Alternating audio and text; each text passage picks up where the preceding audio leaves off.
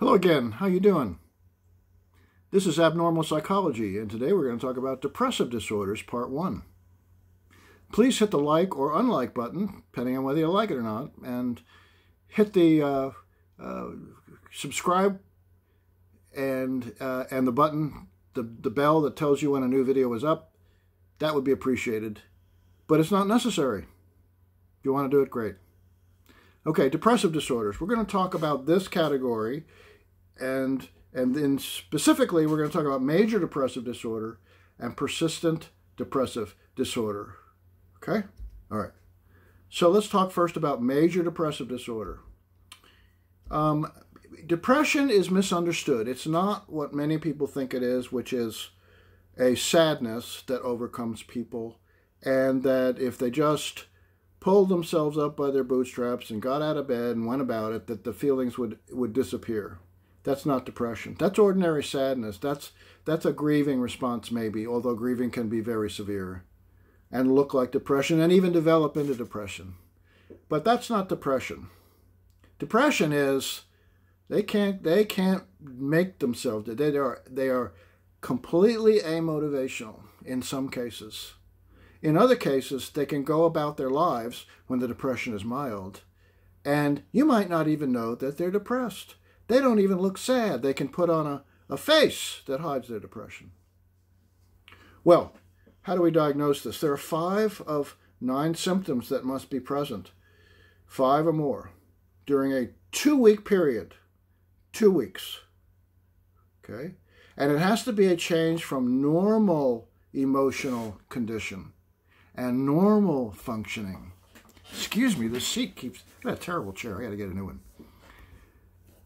And two of the symptoms must, one of the symptoms must either be depressed mood most of the day, nearly every day, and that means sadness, emptiness, hopelessness. Okay?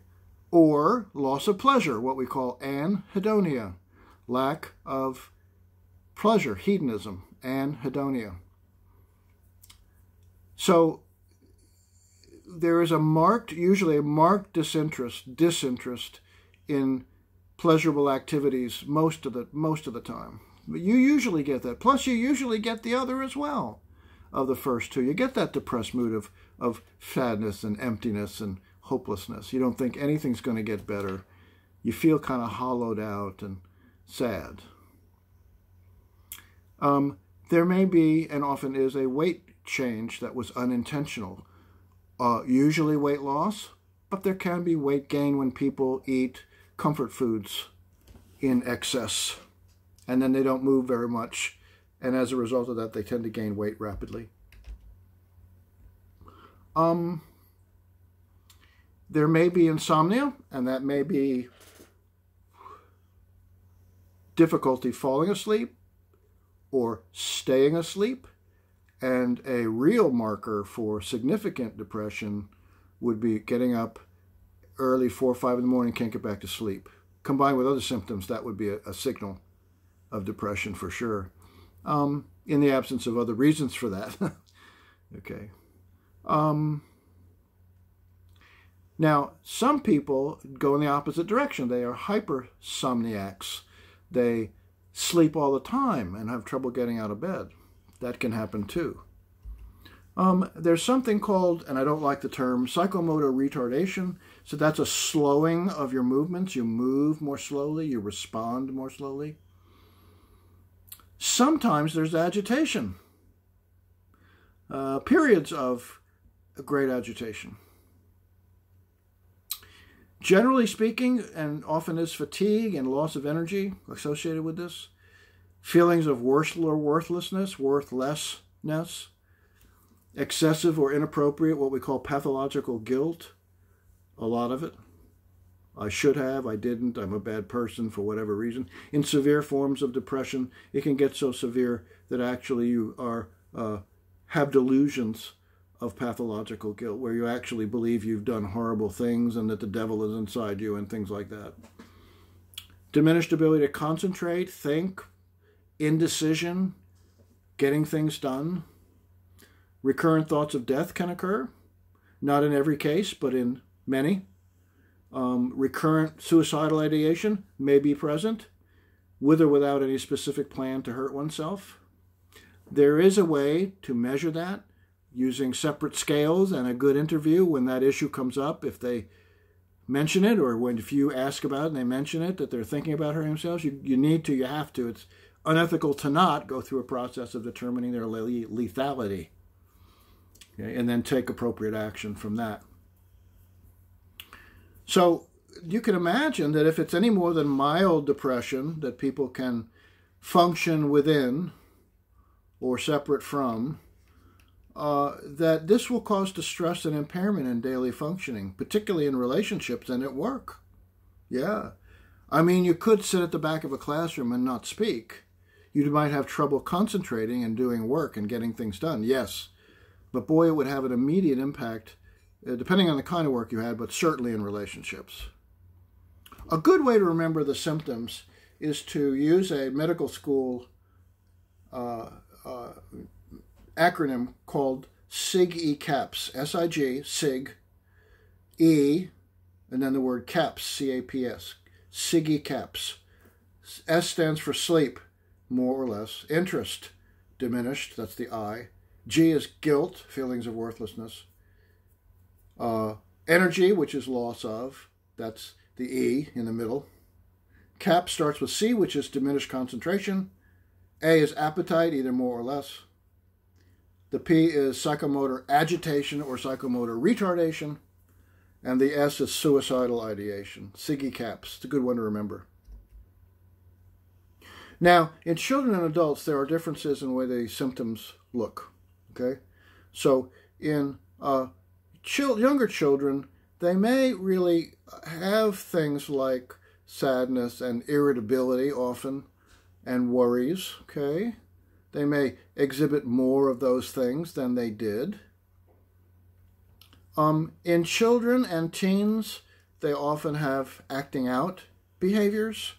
Uh, uh, so they may they may just have other things that that they're doing that signals that they what you're developing ADHD or so that so it may not be that it could be the depression. Um, they may begin to become ill, physically ill, um, all sorts of things. Um, changes in thinking and changes in sleep are not typical in depression in adults or in adolescence. Okay, young adults probably, but uh, in children maybe. They're not, but they're not common in younger children. So it really depends. Now these are all averages. This does not refer to any one person. There are differences from person to person about how many symptoms they have overall, not just five, they may have six, seven, eight, nine, or you know, all of them. They may have different amounts of each of those. They may have any level of depression. It may vary from week to week as to how much depression they have, you see. Okay. In older adults, this disorder is often missed. It's missed because some of the behaviors we attribute to being old are overlapping symptoms of depression, like lack of energy, or problems sleeping, for example. Um, so we have to be very um, attuned to this. Older people will often talk about the dissatisfaction they have with life in general. They, they may feel helpless or bored or worthless. They may want to stay home when they didn't before. And by the way, older men without a partner are particularly high risk for depression, as are college age, and college attending females. We have all sorts of things that can go with this with what we call specifiers. In other words, major depressive disorder, and you want to you want to say mild, moderate, severe. Those are specifiers, but it could even be a, a kind of significant depression so severe that they have a psychosis. They may hallucinate or have delusions. It can be impartial or full remission. It can have anxiety attached to it. In fact, what we sometimes call an anxious depression is very common. Can have atypical features, ones that are not common. Okay? It can have what's called catatonia, where you can't move easily with all parts of your body. You may be able to talk or move a bit or stand up, but it's very slow and labored movement, and sometimes you freeze in certain positions for a while. That's called waxy flexibility. It can occur near the time of uh, uh, giving birth. That's called peripartum onset. And it can be seasonal, which we used to call seasonal affective disorder, and now it's simply just another kind of major depressive disorder. Well, it's more common in women, and why? You would know, wouldn't you? And the answer, of course, is that women are more likely to be victimized. They have greater role strain and role stress, and they have biological differences. An interesting statistic to remember is that major depressive episodes typically last between six and nine months, and that if it's untreated the first time, although the first episode may go away on its own ultimately, you stand a much greater chance that you'll have a second. If you have a second, much greater chance of a third, and so on. If untreated. If treated and you have recurrent episodes, you still have that increased risk, but the risk is slightly less. If treated effectively, the risk goes down more. But we want to treat it early, and we want to include, if it's moderate to severe, both psychotherapy and medication. And the medications we want to use are probably SSRIs, selective serotonin reuptake inhibitors, or SSNRIs, selective serotonin reuptake and norepinephrine reuptake inhibitors, and that's because those seem to have a protective and additive effect of generating new cells in the hippocampus. So it actually prevents cellular loss and improves cellular generation. Now that's important because if you're not treated, you're diminishing cells in your hippocampus, which, among other things, might affect memory. The hippocampus is in some ways associated with other processes, so it would not just affect that, but other things as well. Okay, so what are some other interesting things? Well, we have something called the Western States Depression Band, so that Western states like Arizona, New Mexico, all the way up to Montana, including Idaho and Wyoming and Utah and so on. We're not sure why. Maybe it's lack of population and isolation. Don't know. We also see it in much greater amounts in the South, from Oklahoma all the way over to the East Coast, particularly Mississippi, uh, Alabama, Louisiana, uh, Tennessee, and West Virginia. Some of that has to do with poverty, lack of medical care, and so on. Hmm. So, we should also recognize that there are many things that can create depression that are physical disorders, things like systemic lupus erythematosus, lupus, rheumatoid arthritis, diabetes mellitus, hyperthyroidism, hypothyroidism, Cushing's disease, mitral valve prolapse, men who, in particular men, who have had a heart attack or bypass surgery, gastrointestinal disorders, nutritional dis- dis- deficiencies like B12 and iron, so there are different forms of anemia, and um, some of those are uh, more responsible for things like depression, encephalitis, hepatitis, infectious mononucleosis, pneumonia, tuberculosis, renal failure, uremia, psoriasis. There's lots of stuff. That's a tiny little amount. So if you've got someone who is not responding to treatment, either psychotherapy and or medication, now I want to revisit that, if you have mild depression, we'll go with psychotherapy to see if that works. With moderate to severe, as I said before, we want both talk therapy and medication. But if none of that works for someone, and you know nothing else is going on to attribute it, we may think we can't find the answer, but another possibility is that something is being missed physically. And if they have the right insurance and the right doctor, or they have money, they can go through a series of basic tests which might then lead to other tests if indicators are present.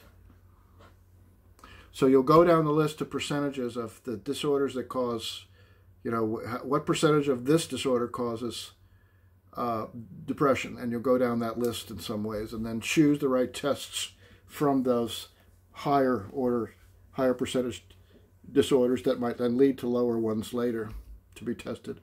Now, drugs can create depression.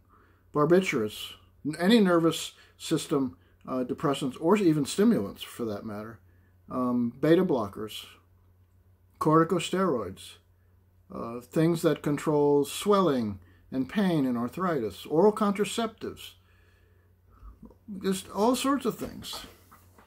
Now, the onset of depression can either be sudden or gradual. And as I said before, you can have someone with a diagnosed case of depression, and the depression seems to be lessening, and all of a sudden it gets the bottom drops out. Or you can have someone in the reverse position. They're slowly sinking, and then all of a sudden they get better. Without treatment, but more commonly with treatment in that case. Okay? Just to give you an idea, full recovery from an episode after having it for six months, where it was not treated properly or it was untreated, the full recovery, in other words, getting back to normal euthymic state, is about 50%. And a, a percentage of people with diagnosed med, uh, uh, major depressive disorder go on to then show at least one episode of mania, which would tell us that they have actually bipolar disorder but we couldn't have known that.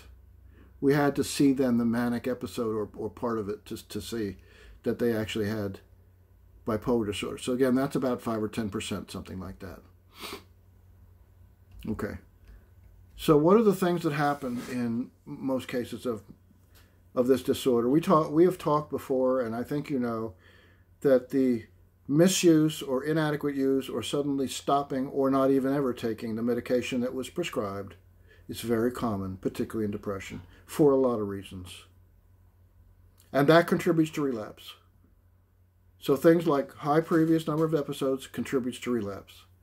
Inadequate antidepressant treatment, the wrong wrong kind of medication that they didn't find the right one for you, and often that's a process that we have to warn patients about as therapists and doctors. We have to remind them that that's going to take a while to get the right one, to try different ones in different dosages so that's one possibility for relapse. Partial response, not full response to the treatments offered. Stopping treatment. Rapidly stopping treatment like antidepressants, just stopping, that, ooh, that brings about relapse often. Returning from your office to or to going to and living in a highly emotional, inconsistent environment, an invalidating or abusive environment, yeah. Having other disorders makes it more difficult often results in relapse. Yeah, okay.